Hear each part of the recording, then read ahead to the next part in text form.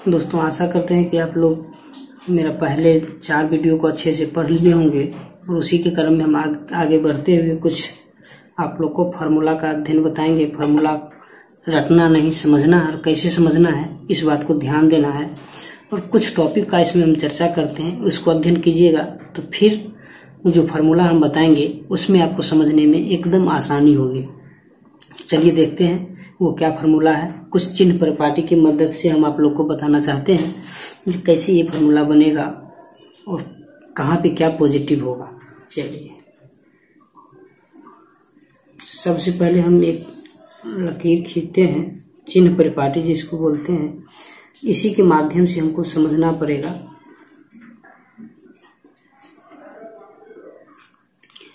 इसको हम लोग फ़र्स्ट पार्ट बोलते हैं। इसमें आपका 90 डिग्री माइनस थीटा या 360 प्लस थीटा के रूप में इसको हम लिख सकते हैं। ये दोनों ही रूप में चलेगा। अब यहाँ पे क्या है? जब थीटा का वैल्यू ज़ीरो डिग्री, थीटा का वैल्यू जो है, ज़ीरो डिग्री से नब्बे डिग्री तक हो सकता है। इस पार्ट में क्या होगा आपको? ऑल पॉजिटिव होंगे। साइन से कॉसेक ऑल पॉजिटिव होंगे। अब आते हैं सेकेंड पार्ट में। सेकेंड पार्ट आपका 90 degree plus theta 180 degree minus theta के रूप में हो सकता है। यहाँ पे हमको साइन और कॉसेक पॉजिटिव होगा। साइन कॉसेक पॉजिटिव होगा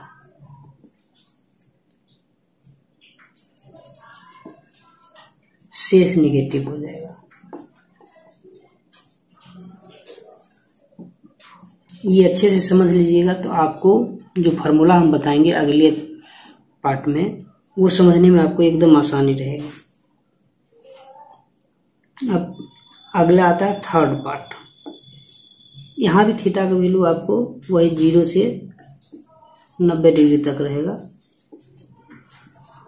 थर्ड पार्ट इसमें भी आपको टेन यहाँ डिग्री पहले चर्चा कर लेते हैं। डिग्री आपको ये वन एट्टी प्लस थीटा या two seventy degree minus theta के रूप में हो सकता है। और जहाँ थीटा का वैल्यू ज़ीरो डिग्री से नाइन्टी डिग्री तक होगा। यहाँ आपको टेन और कॉट पॉजिटिव होगा। टेन कॉट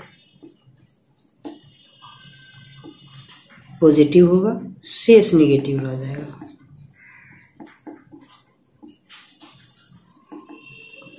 ये तो आपका तीसरा पार्ट हो गया।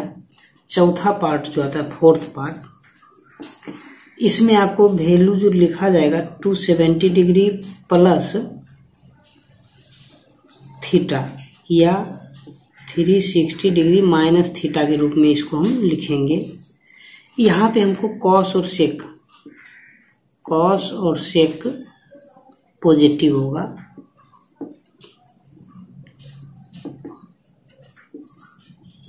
शेष निगेटिव रह जाएगा।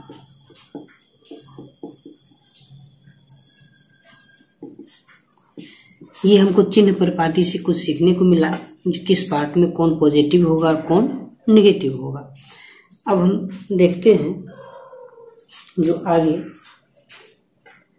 क्या बदलाव होता है और इस पर आधारित कुछ और बदलाव आप लोग को हम बताने का कोशिश करते हैं ताकि आपको समझ में आए।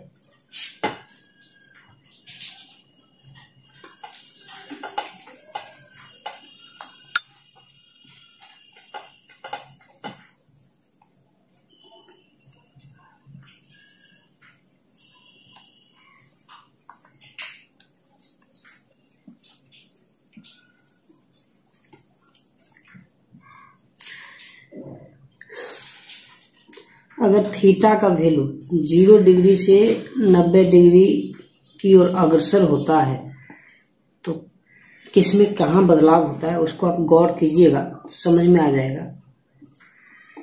जैसे ही थीटा का वैल्यू ज़ीरो डिग्री से नब्बे डिग्री की ओर बढ़ेगा तो साइन थीटा का वैल्यू जो है इंक्रीज करेगा।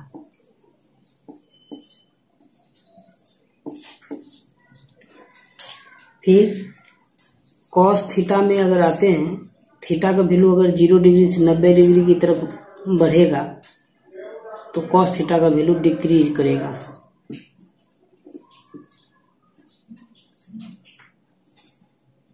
टेन थीटा अगर थीटा का वैल्यू ज़ीरो डिग्री से नब्बे डिग्री की ओर बढ़ेगा तो इसका टेन थीटा का वैल्यू इंक्रीज करेगा। जैसा कि हमने ऊपर का तीन देख लिया, इसी को पलट देंगे तो आगे का तीन हमको प्राप्त हो जाता है। साइन को उल्टा कौशिक हो जाएगा। कौशिक थीटा यहाँ इंक्रीज कर रहा है तो यहाँ पे ये डिक्रीज करेगा। सिर्फ़ तीन याद रखना है, बाकी तीन तो ऑटोमेटिक हो जाता है। सेक ये डिक्रीज कर रहा है तो यहाँ पे थीटा का वैल्यू बढ़ने पे इंक्रीज करेगा। ये इंक्रीज कर रहा है कॉट थीटा का वैल्यू यहाँ पे थीटा का वैल्यू बढ़ने पे डिक्रीज करेगा। ये तो इंक्रीज और डिक्रीज की बात हो गई। अब कुछ और महत्वपूर्ण बात है इससे रिलेटेड जो आप लोग को बता रहे हैं।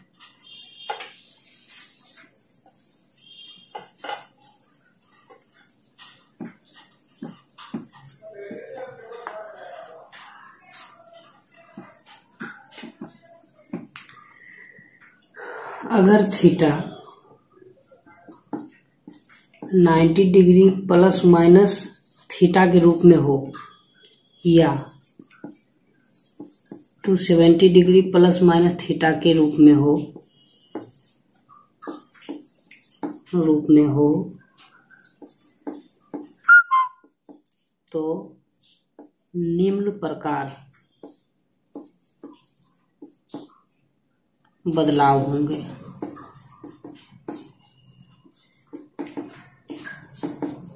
वो बदलाव क्या है? देखिए। साइन थीटा, साइन कॉस में बदल जाएगा। कॉस साइन में बदलेगा। टेन कॉट में बदलेगा। सेक कौशिक में बदलेगा।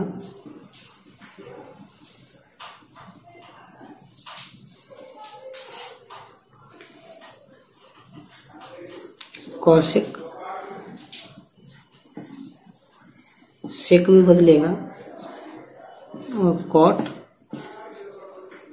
टेन में बदलेगा। इस प्रकार ये बदलाव होगा। इस वीडियो में इतना ही रहने देते हैं। अगर सूत्र बतलाएँगे तो वीडियो बहुत लंबा हो जाएगा। अगले वीडियो में हम आपको अब इसी पे आधारित ninety plus minus theta, two seventy plus minus theta. साथ में पूरे चारों पार्ट से संबंधित फार्मूला आप लोग को बताएँगे। आप लोग कंटिन्यू बने रहिए, अच्छे से वीडियो देखिए और इसके नोट करते चलिए ताकि आप लोग को समझ में आए। अगर मेरा वीडियो अच्छा लगे तो इसको लाइक शेयर और सब्सक्राइब ज़रूर करें। मिलते हैं अगले वीडियो में।